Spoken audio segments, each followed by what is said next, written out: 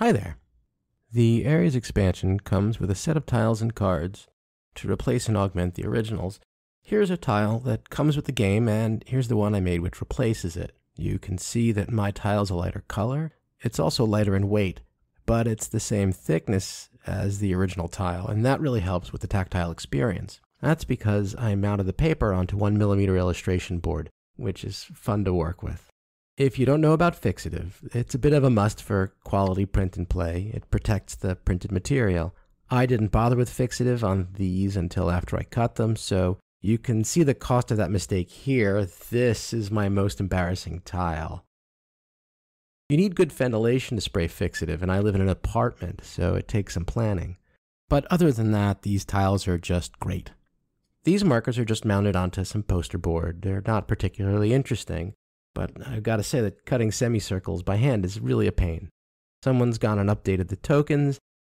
So not only did they replace semicircles with straight cuts, which are much easier, they included a token back, which this one doesn't have.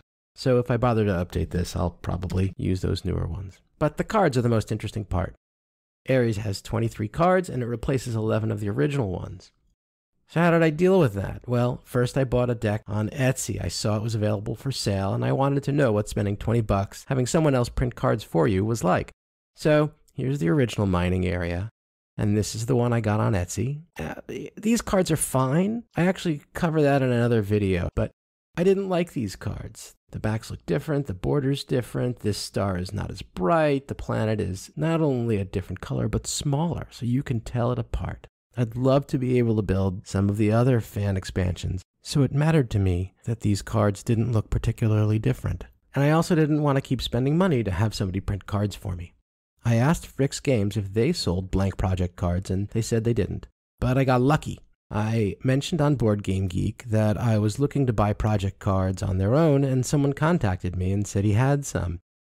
They bought a second set of the whole game just for the player tokens and sold me the cards. And that's great because these backs are completely indistinguishable from the originals. They are the originals. So I printed the card fronts on copier paper and I mounted them.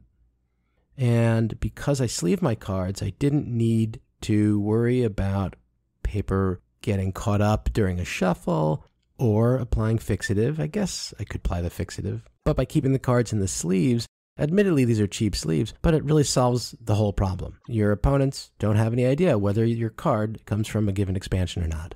Of course, some people suggested solving the problem by buying the official card sleeves, but there were first of all there were 50 bucks, and second of all there's no way I'm resleeving all my cards. I hope you found this useful. If you have any questions, let me know in the comments. Okay, thanks.